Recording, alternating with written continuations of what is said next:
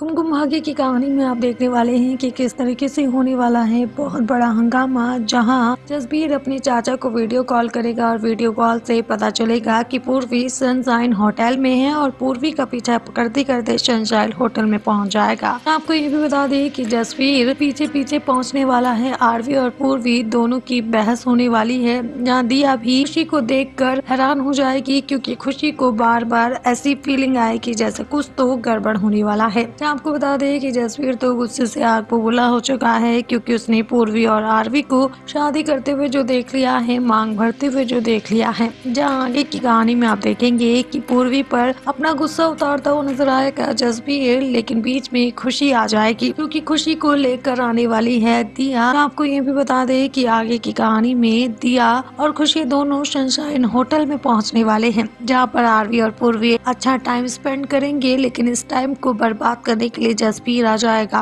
और उसी वक्त होगा बहुत बड़ा हंगामा क्योंकि जसवीर करेगा पूर्वी पर अटैक लेकिन बीच में आ जाएगी खुशी और खुशी अस्पताल पहुंचने वाली है अपनी बहन को बचाने के चक्कर में बाकी के अपडेट जानने के लिए सब्सक्राइब कीजिए हमारा चैनल